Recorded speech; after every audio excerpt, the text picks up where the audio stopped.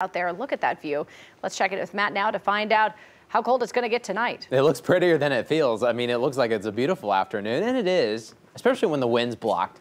You got the sun out there and it feels nice, but temperatures have really crashed today compared to the 70s that we had yesterday and will continue to cool down tonight. That north wind will start to slow down eventually. South winds return by tomorrow, but it's still going to be cool this evening. If you are headed out the door, make sure you bundle up. We've got temperatures in the 30s within the next two hours, I think, across northwest Arkansas. As soon as that sun sets, which sets just after 5 o'clock, expect temperatures to crash a bit. In the River Valley, going to watch temperatures crash a bit too. We're, we're in the 40s right now, upper 40s, but then by 6 o'clock, we'll be in those mid 40s, and then we've got 30s coming in by 8 o'clock. So we're going to get cool as well. We've got the mostly clear skies, but when you look westbound, clouds are increasing from, from the west across the panhandles of Oklahoma and Texas. This is our next storm system starting to come in. There's kind of two different waves to it. You see the main batch of energy back off towards the west, and you've got this disturbance with some clouds. So we're going to get partly cloudy skies tomorrow, and then by Friday night, we'll get this thing. This thing's going to come in, bring some showers with it, and then bring in much cooler air just in time for the weekend. But here's your forecast tomorrow. We're, we're going to start chilly.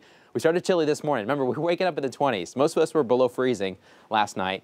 Tomorrow night or tomorrow morning will probably be below freezing as well. It's going to be chilly area wide, but that south wind comes in and it starts to pick up throughout the afternoon. We've got 50s expected for your Thursday. It's going to feel a little bit nicer out there, and it's not going to be completely cloudy, but there will be a couple extra clouds compared to what we had today, which is blue sky for the majority of us today. So tomorrow's forecast looks a lot nicer. We got upper 40s in northwest approaching 50 degrees.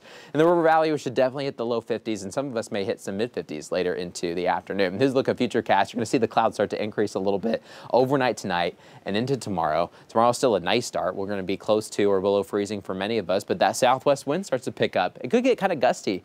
Now, at least it's out of the south, but sometimes it might just feel cool just because the wind's moving around so much, even though it is coming from the south. But the south should help temperatures rebound a little bit. And then clouds increase a little bit more by Friday when some showers are going to move in. So overall, what you need to know is that we've got several cold fronts and warm fronts on the way, but there's two main cold fronts to talk about. And right before the front hits, you'll get some scattered showers. So we've got a cold front coming in Friday night. So majority of Friday looks kind of rainy.